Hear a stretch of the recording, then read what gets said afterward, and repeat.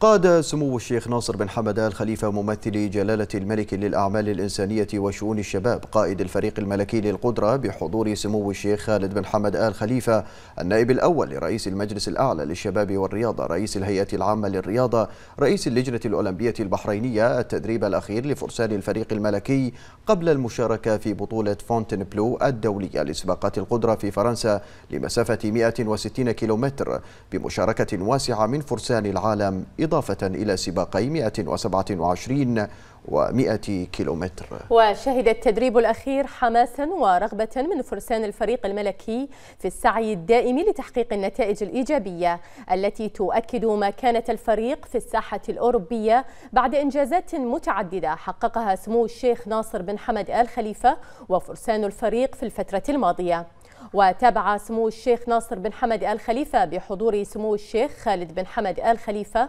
الفحص البيطري للجياد الذي أقيم في قرية البطولة. وحرص سمو الشيخ ناصر بن حمد آل خليفة على لقاء الفرسان في القرية والجهاز الفني للفريق حيث وجه سموه فرسان الفريق بمضاعفة الجهود والسعي دائما لتحقيق أفضل النتائج في البطولة. وبهذه المناسبة أكد سمو الشيخ ناصر بن حمد آل خليفة أن الفريق الملكي للقدرة يسير بخطى ثابتة نحو مواصلة تأكيد مكانته المرموقة في السباقات الأوروبية بعد سلسلة من الإنجازات التي تحققت طوال الفترة الماضية. مبينا سموه إلى أن التواجد البحريني في فرنسا سيحقق العديد من المكاسب للفريق.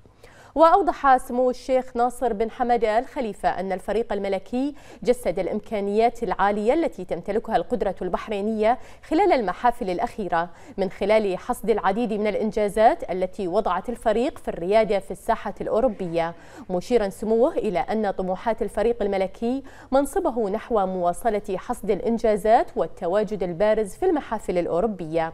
وسيقود سمو الشيخ ناصر بن حمد آل خليفة فرسان الفريق في سباق 160 كيلو متر إضافة إلى مشاركة بحرينية للفرسان في سباق 127 كيلو متر وسباق 100 كيلو متر كما ستشهد المشاركة البحرينية حضورا بارزا يوم السبت في سباق 120 كيلو متر للعموم و120 كيلو متر للناشئين.